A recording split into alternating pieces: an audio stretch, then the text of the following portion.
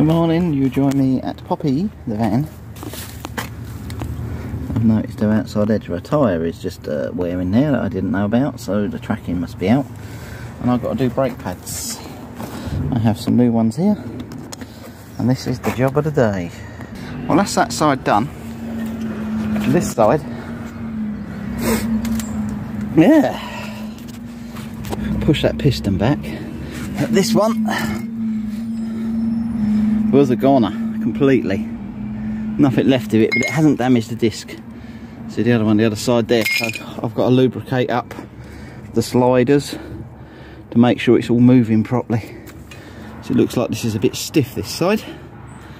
So I should be doing that now. Now that little job's done on the brakes.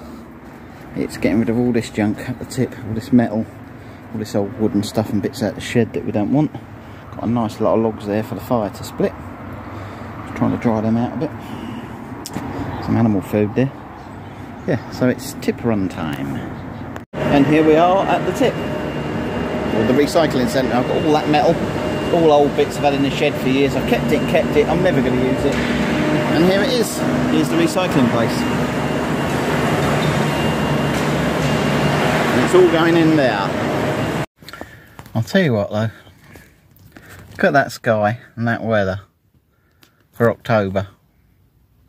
What are we, 13th, 14th, 13th, 14th of October today? Middle of October. Halfway through the month.